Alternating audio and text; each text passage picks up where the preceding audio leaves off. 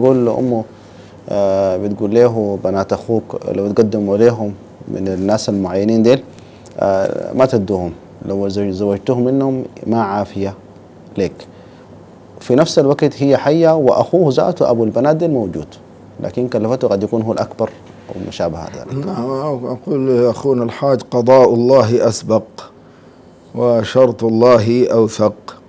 فإن نبينا عليه الصلاة والسلام قال إذا جاءكم من ترضون دينه وخلقه فزوجوه. إلا تفعلوا تكن فتنة في الأرض وفساد كبير. فالوالدة عافاها الله اختلفت مع أولئك الناس تنازعت معهم في شيء اشتجر النسوة فتقول يعني ما تزوجوهم؟ لا هذا ما ينبغي.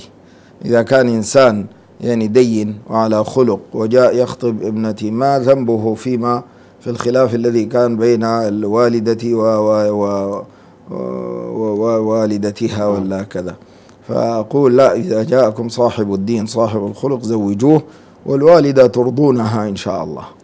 تقاطع الزواج وتعمل لهم مشكلة معلش يرضون يستطيعون إرضاءها. أكرمك الله. نعم من أرضى الله بسخط الناس رضي الله عنه وأرضى عنه الناس.